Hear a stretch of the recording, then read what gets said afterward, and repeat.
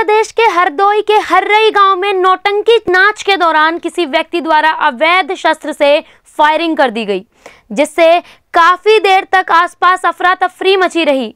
Social media पर इसका video भी तेज़ी से वायरल हो रहा है। यह भी बताया जा रहा है कि यह नौटंकी नाच बिना अनुमति के हो रहा था।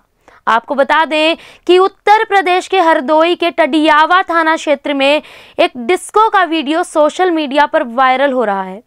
जिसमें हर्रई गाँव में बार बालाओं का डांस चल रहा है, जहाँ पर मौजूद एक युवक भी बार बालाओं का डांस देखने के साथ साथ तमंचे से फायर भी कर रहा है। वीडियो वायरल होने के बाद पुलिस में हड़कंप मच गया है। पुलिस युवक की तलाश में जुट गई है।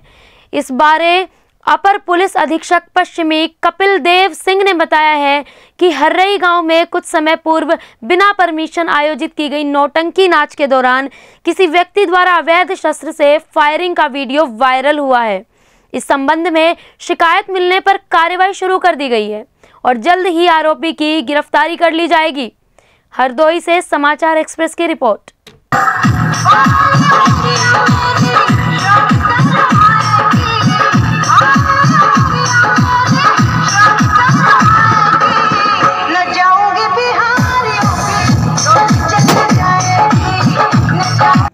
सर एक ये फायरिंग का वीडियो सामने आया है। कहाँ का ये वीडियो है? क्या इस मामले में कार्रवाई की है? जिस वीडियो क्लिप की आप बात कर रहे हैं, ये हरिहरपुर गाँव थाना टणियावा क्षेत्र में है।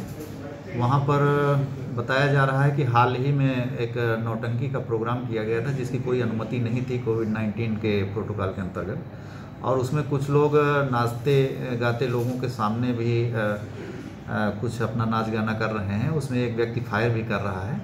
इसमें हमें तहरीर मिली है और तहरीर के आधार मुकदमा पंजीकृत कर लिया गया है और टीमें निकली हैं इनकी धरपकड़ के लिए। ऐसे ही लेटेस्ट खबरें पाने के लिए बेल आइकन को क्लिक कर हमारे चैनल को लाइक, शेयर एंड सब्सक्राइब करें। धन्यवाद।